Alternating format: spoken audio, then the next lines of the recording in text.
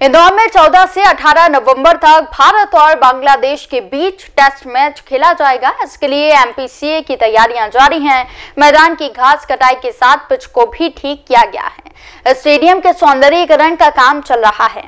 इंदौर के होलकर स्टेडियम में अगले सप्ताह से टेस्ट मैच खेला जाने वाला है। एमपीसीए के द्वारा स्टेडियम की साफ़ सफ़ाई, यहाँ लगी पच्चीस हज़ार से अधिक कुर्सियों की धूल और गंदगी साफ़ करवाई जा रही है, ताकि दर्शकों को कोई परेशानी ना हो। वहीं 10 नवंबर तक ऑनलाइन टिकट की बिक्री होगी, उसके बाद ऑफलाइन टिकट बेचे जाएँगे। स्टेडियम में देखो, टेस्ट मैच में तो पूरी तैयारी होने का तो कुछ ऐसा बोल नहीं सकते, हंड्रेड तो नहीं, लेकिन क्या है, तैयारी पूरी तरह से चल रही है।